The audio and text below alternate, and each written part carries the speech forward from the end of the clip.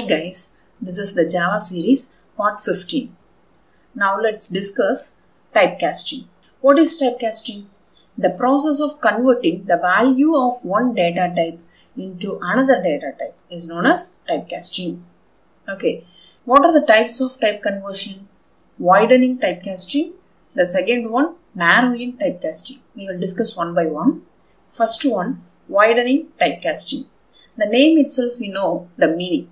Widening typecasting, the lower data type is converted into the higher data type. Hence, there is no loss in data. That's why this type of conversion happens automatically. Okay, this is also known as implicit typecasting. Now, let's see the example. Here, widening means lower data type into higher data type. Okay, in this program, I have created the variable num. Its data type is integer. We all know integer size is 32 bits. That means of 4 bytes. Okay, I have given 10 to num variable. And here I try to convert the num into data. But data variable is double. Double memory size is 8 bytes. Num memory size is 4 bytes. Now what happens here? This integer data type will be converted into double data type. Okay, this conversion is happened implicitly. That's why we can call it as what? Implicit conversion.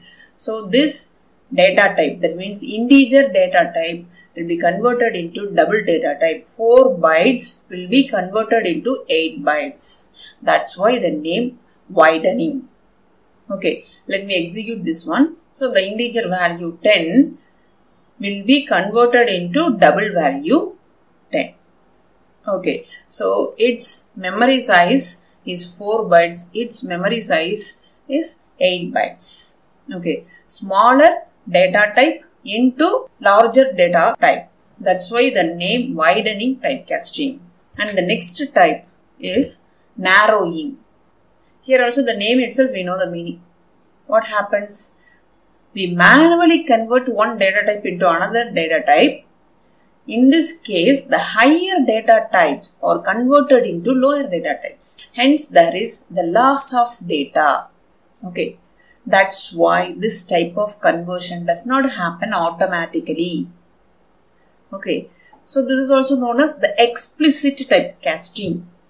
Let's see the example narrowing typecasting. Here I have created the num variable. Its data type is integer.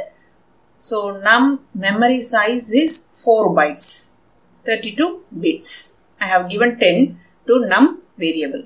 Okay. I want to store this num value to data.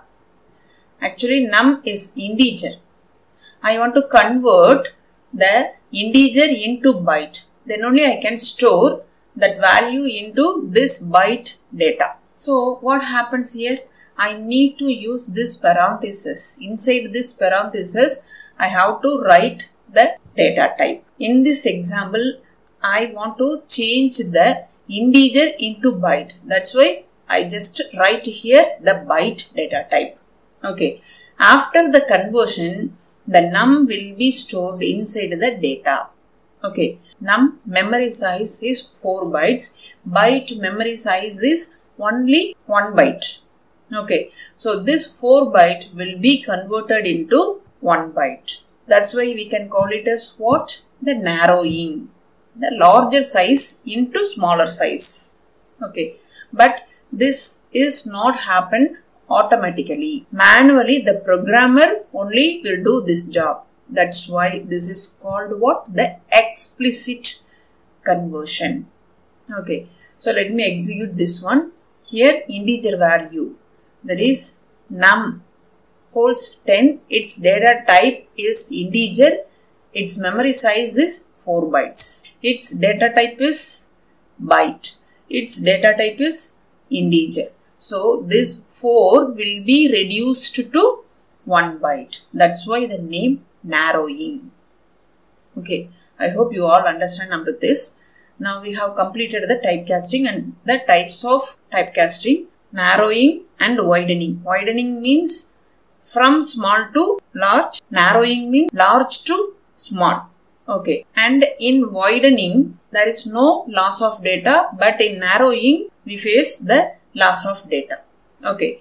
And widening is also known as the implicit conversion. Narrowing is the explicit conversion. If you have any doubts, drop the message on the comment section. Have a nice day. Thank you.